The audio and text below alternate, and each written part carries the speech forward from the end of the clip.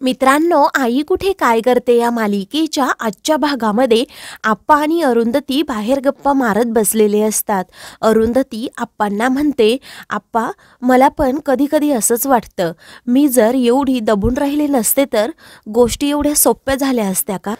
आणि जर मी लागोपाठ तीन मुलं होऊ दिली नसती आणि यांची फिरतीची नोकरी नसती भाऊजी आणि निलिमा इथेच राहिले असते तर काय झालं असतं? आणि बाळणपणासाठी आईकडे जायचं नाही असं नेहमी आई म्हणायची. आणि दोन मुलांनंतर मी थांबण्याचा निर्णय घेतला तर यांना मुलगी हवी होती म्हणून मी पुन्हा ईशाला होऊ दिलं. मी आतापर्यंत एकही निर्णय अजून घेतला नाही. मला वाटलं की तेव्हा माझ्या निर्णयाने जर घरात अशांतता निर्माण झाली तर काय करायचं? म्हणून मी आपली गप्प बसायचे. पण आत्ता ती चूक मला समजती. आता मला ह्या चुका पुन्हा करायच्या नाहीत. त्यावरती आप्पा म्हणतात हो अरुंधती आता तू कुणाचाच विचार करायचा नाही. आता तू लग्न करून टाक कुणाचाही विचार करू नकोस असा आप्पा अरुंधतीला सल्ला देतात.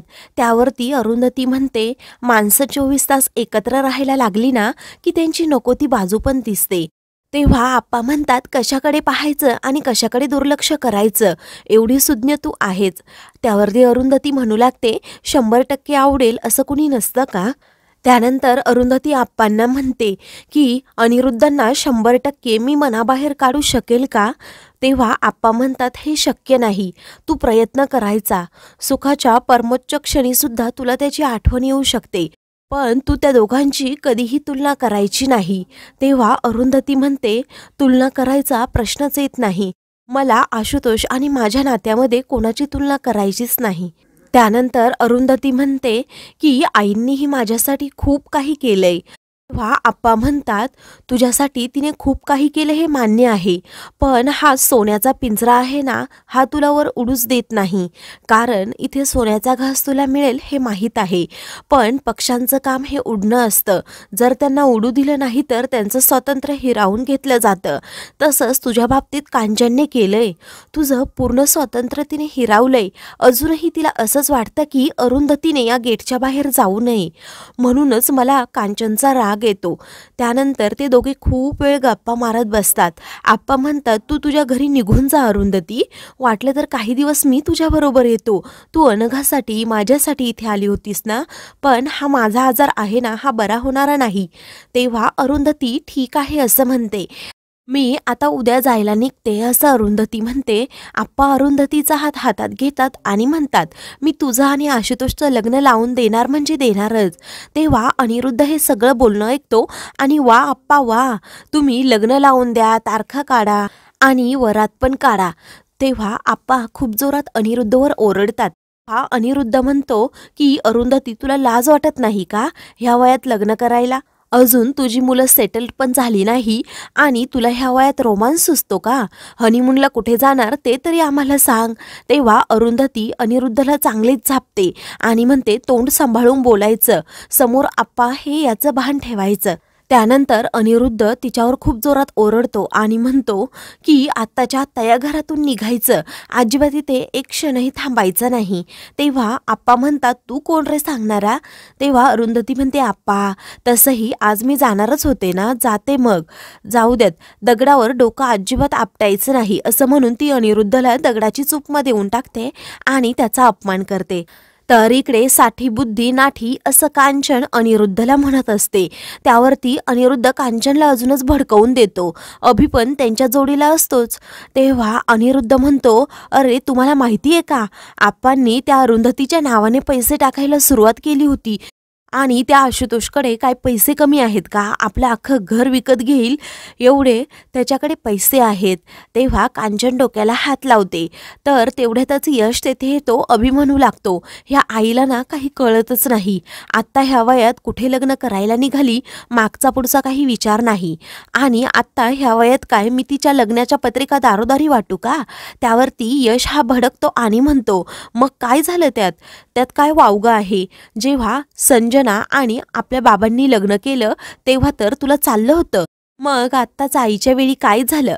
आता दुसरा घटस्फोट घेऊन तिसऱ्या लग्नालाही तुझे बाबा उभे राहतील. मग तेव्हा तू काहीच बोलणार नाही का? त्या दोघांमध्ये खूप वाद होऊ लागतात. तर भारतीय संस्कृती परंपरा असं काही अभि बोलत असतो. तेवरती संजना तेथे येते आणि म्हणते की अरे बापरे अभि तू तर डायरेक्ट संस्कृती आणि परंपरा याबद्दलच बोलायला लागलास. त्यावरती अभिहार संजनाला म्हणतो हे रिव्हेंज मॅरेज आहे. म्हणजे कसं आईला बाबांवर सूड उगवायचं असेल. त्यानंतर कांचनमध्ये मध्ये बोलू लागते आणि म्हणते की अरुंधतीला या वयात लग्न करायची काहीही गरज नाही. तेवढ्यातच अनगात येते ते आणि मी ताईला सपोर्ट करणार असं म्हणते. त्यावरती अभि म्हणतो कशाला? कशाला सपोर्ट करतेस? म्हातार वयातली ही थेरा आहे बाकी काही नाही. तर कांचन म्हणते अरुंधतीला लग्न करायचं असेल तर तिने करावं. पण त्यानंतर या घराचे दरवाजे तिच्यासाठी कायमचे बंद असतील. तेवढ्यातच अरुंधती आणि आप्पा येतात. अरुंधतीने जाण्याची पूर्ण तयारी केलेली असते. तेव्हा कांचन म्हणते हे बघ अरुंधती आता तू इथून जाते ते खरं आहे पण मुलगी म्हणून या घरातून जाते.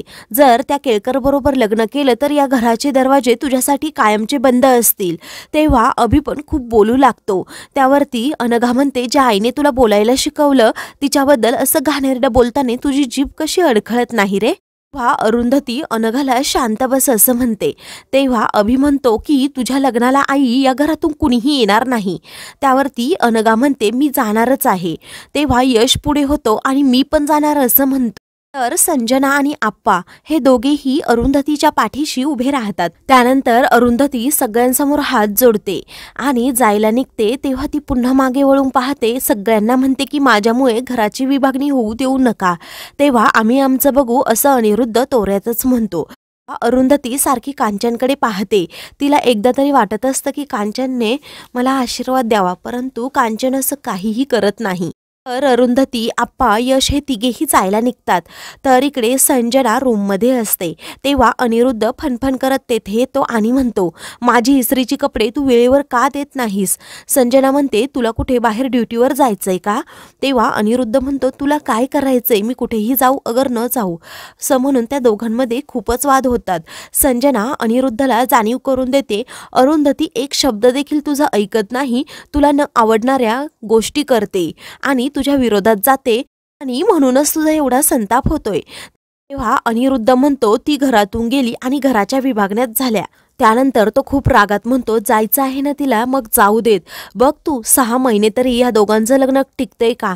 त्यावरती संजना त्याचे डोळे उघडते आणि म्हणते की अरे अनिरुद्ध आशुतोषचं जीवापाड अरुंधतीवर प्रेम आहे आणि हे लग्न टिकवण्यासाठी तो किती धडपड करतोय ना ते बघ.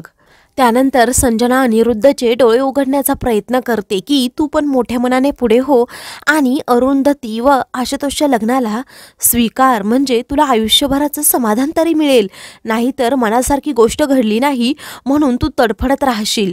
अरे शेखर आणि माझ्याकडे बघ. निखिलसाठी आम्ही एकत्र येतोच ना? आणि किती सभ्यपणाने वागतो. अरे तो निखिल पण बघ तुझ्या मुलांपेक्षा चांगलाच वागतो असं मला वाटतं. त्याने आपलं लग्न तितक्या सहज मनाने स्वीकारलं होतं. एवढा छोटासा माझा मुलगा तरीही त्याला एवढं कळतं. तेव्हा मग त्या निखिललाही तू तिकडे अरुंधतीच्या लग्नात घेऊन जा असं संजनाला खोचकपणे अनिरुद्ध म्हणतो. तेव्हा संजना म्हणते मी जाणारच आहे. तर मित्रांनो पुढील भागामध्ये आप्पा आणि विशाखा अरुंधतीच्या लग्नाची तारीख काढायला जातात. तेव्हा आप्पा घरातील सर्वांना म्हणतात दुर्दैवाने एक प्रॉब्लेम झालाय. अशाच मालिकेंचे पुढील भाग पाहण्यासाठी चॅनलला सबस्क्राईब करा.